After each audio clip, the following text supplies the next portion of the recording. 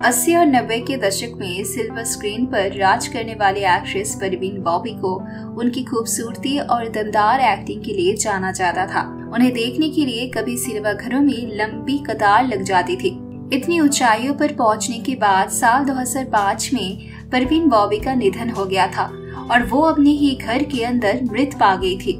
Actress को जिस घर में मृत पाई गई थी, अब उस घर को बेचा जा रहा है, लेकिन इसके लिए कोई खरीदार नहीं मिल रहा है। मुंबई स्थित परवीन का ये सी फेसिंग फ्लैट बेहद आलिशान है। वो सत्रह सालों से अधिक समय तक मुंबई में रही थी। एक रिपोर्ट के अनुसार बताई जा रही है कि कई दलाल फ्लैट बेचने या किराए पर लेने की कोशिश कर रहे हैं, लेकिन अभी तक किसी भी पार्टी ने कोई खास दिलचस्पी नहीं दिखाई है। आपको बता दें, परवीन मुंबई के जुहू इलाके में रिवेरा बिल्डिंग की सातवीं मंजिल पर मृत पा गई थी।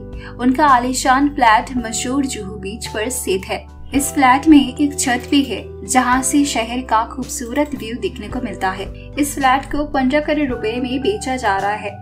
और अगर कोई इस फ्लैट को किराए में लेना चाहे तो उन्हें चार लाख रुपए पर मंथ देना होगा। सूत्र के मुताबिक, परवीन बॉबी के फ्लैट पर जब लोग आते हैं, तब से वो इस बात से अनजान होते हैं कि वो परवीन बॉबी के घर आए हैं। लेकिन जैसे ही उन्हें पता चलता है कि ये एक्ट्रेस का घर है, वो इसे लेने से इनकार कर देते हैं। इसका कारण ये है कि एक्ट्रेस अपनी ही फ्लैट में मृत पाई गई थी। फ़िलहाल इस बारे में आपका क्या कहना है, हमें कमेंट करके ज़रूर बताएँ। Thanks for watching this video television दुनिया की छोटी बड़ी न्यूज़ के लिए हमारा चैनल सब्सक्राइब करना मत भूलिए। अगर आपको हमारा वीडियो पसंद आए तो कमेंट लाइक ज़रूर करना। फिर मुलाकात होगी अगली वीडियो में।